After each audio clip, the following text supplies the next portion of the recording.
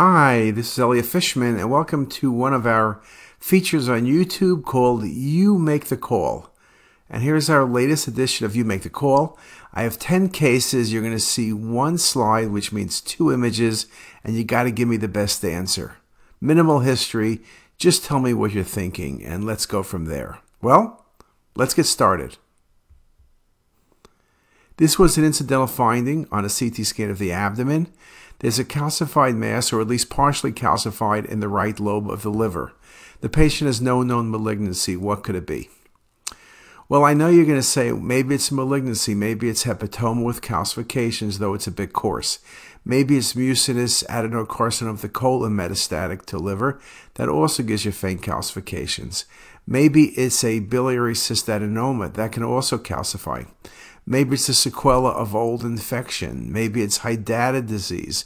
Maybe it's an old abscess which had a drain in place and bled and had calcification.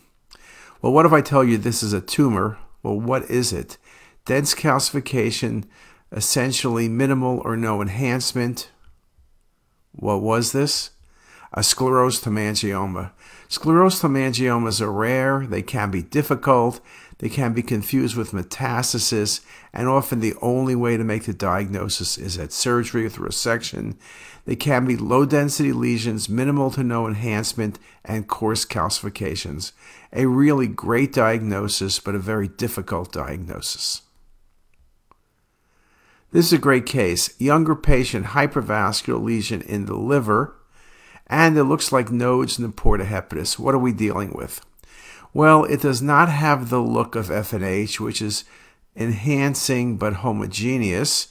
Again, the nodes kind of put you in the malignancy category, so FNH is not going to happen. This is not the enhancement of hemangioma. It's truthfully not the enhancement of hepatic adenoma unless the patient had developed a hepatoma already. Uh, cholangiocarcinoma is too vascular. Hepatoma is a good thought. Metastasis is a good thought. Maybe a neuroendocrine tumor with nodes, peripancreatic, and liver. This patient was younger. When you see a vascular lesion in a woman especially, but patients in their teens or 20s, you got to be thinking about a fibrolamellar hepatoma, very vascular. The nodes are very vascular, an aggressive tumor.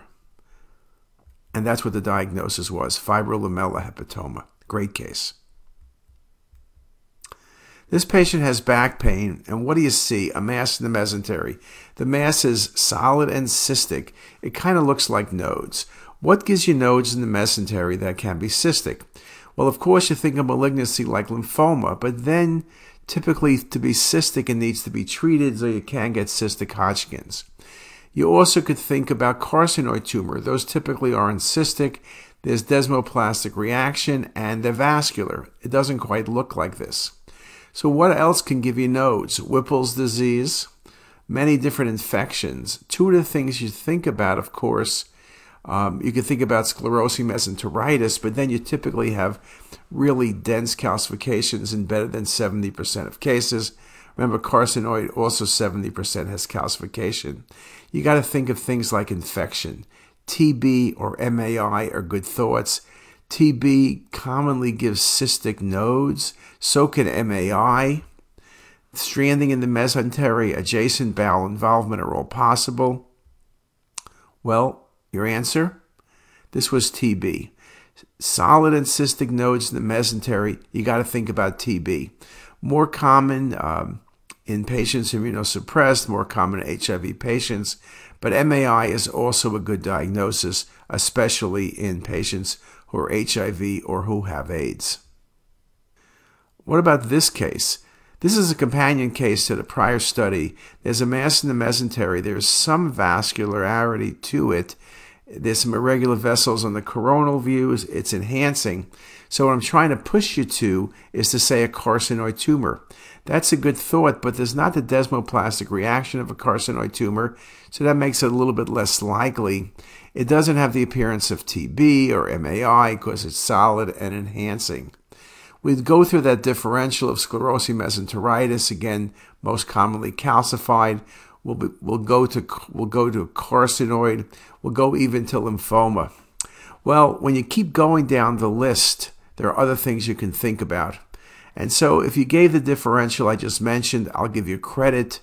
But a mass in the mesentery that's slightly vascular, you got to think about Castleman's disease. It can give nodes in the chest and the abdomen, the pelvis, but not uncommonly presents with a mesenteric mass, slight vascularity, and just a great case. What about this case? Well, the first thing you notice, the patient has an absent left kidney, and I will tell you the patient had a nephrectomy. You then look and there's a soft tissue mass at about the L2 level in the spinal canal. You look particularly at the sagittal view. You see it's a nodule, there's a vessel going to it. What are we dealing with? Left nephrectomy means renal cell carcinoma in all likelihood, particularly when I'm showing you two images only. So you got to say when you have renal cell, especially clear cell, you get metastasis to muscle, to bone, to pancreas, contralateral kidney, adrenal, bowel, stomach, all are vascular. This is a good example, or a great example, I should say, of clear cell metastatic to the spinal cord. Again, we don't think about it that way. We think about Mets to bone, but you can get Mets to the spinal cord. Easy to overlook in the axial views because we tend not to look at those images. What a great case.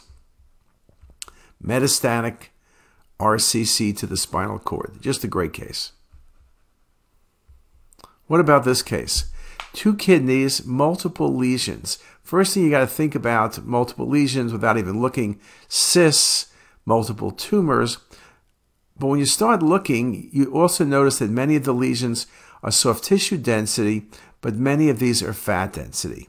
Yes, you can see fat in renal cell carcinoma, but there are multiple lesions in both kidneys with fat. What do you think about when you see multiple hepatic, it could be hepatic, multiple renal lesions? These patients also do get hepatic uh, fatty tumors. Well, you got to be thinking of one thing and only one thing tuberous sclerosis. Multiple renal angiomyolipomas of variable sizes, variable fat content. Yes, they can get lipomas in the liver, but they're usually small and only a few patients can get incidental renal angiomyolipomas, typically females in their 40s or 50s, but then it's usually one lesion. Just a great case. What about this case? The patient has hematuria and there are calculi present. So obviously, I'm not going to give you a case of just renal calculi. Think about where are those calcifications? They look like they're layering out a cyst. Perhaps it's simply a cyst that has calcification. That can be possible. This is where the contrast scans will help you, but there's something you should think of. When you see a cluster of calcifications in the periphery of the kidney, and it looks like it's in some cystic lesion, you got to be thinking of, of, what am I thinking of? Well, let me show you another image. That's the image I gave you, but look with contrast. You can see what this patient has in the upper pole of the left kidney, is the patient has a calyceal diverticulum. Oh, yes, by the way, the patient also has in both kidneys papillary necrosis, but it's that diverticulum. Remember, diverticulum can contain calcification, can contain fluid, can be confusing, almost simulate transitional cell carcinoma. A wonderful case and beautiful example of papillary necrosis. Patient with abdominal pain, you see a cystic mass or relatively a low density mass in the midline. The key thing here is where does the mass come from? You could say, well, maybe it's the mesentery pushing on the stomach. But when you see a large mass, can be solid or a little bit lower density like this case, you got to be thinking this mass is coming off the stomach. If it's coming off the stomach, then it's going to be a GIST tumor. Maybe metastatic disease like melanoma, maybe lymphoma can push against the stomach. But here it's really the epicenter. You got to be thinking about that. So what's this going to be? What's your call? You said GIST. You were right. GIST tumors are often vascular. They can be cystic. They're more commonly cystic after they've been treated with Gleevec. They can bleed. They can ulcerate. They can be intraluminal or extraluminal. Most cases like this one is extraluminal, or they can be somewhat mixed. What about this case? There's a calcified mass. At first glance, you might think it's pancreas, then you would worry about a neuroendocrine tumor. But then when you look at the coronal, you realize it's coming off the stomach. What masses are calcified that come off the stomach? Old hematomas, that's really rare. What tumor? Well, I just showed you GIST tumors.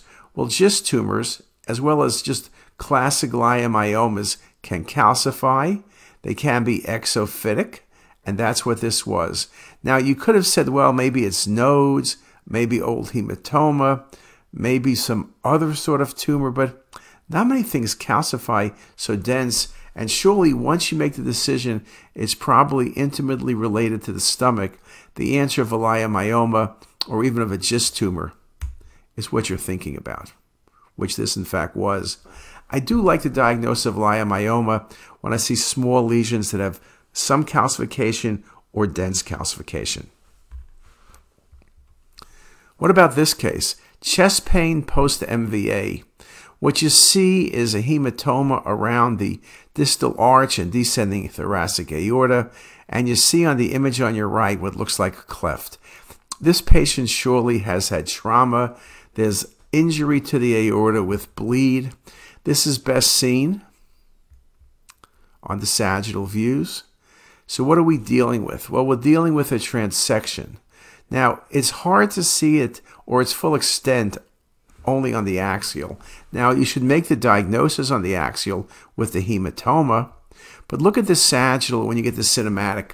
You can see just past the left subclavian artery in the classic location at the ductus zone for trauma. There's a linear line. That's a transection of the patient's aorta. And here's the same patient after a stent was placed. You make the diagnosis early. The patient ends up being lucky because they made it to CT uh, to begin with. Some of these patients just die in the field but beautiful example of repair with an endovascular stent. Well, that's 10 cases. How much more do you want from me? Well, more. Well, I'll give you more, but not today. But I will wish you a great day, and I hope you enjoy the cases. See you later. Bye. If you like this video, make sure to subscribe to the CTisus YouTube channel. You can also visit us at ctisus.com for even more videos, plus quizzes, pearls, protocols, and oh so much more. We're also in the App Store and have well over a dozen apps for iPhone and iPad, all completely free. Thanks for watching.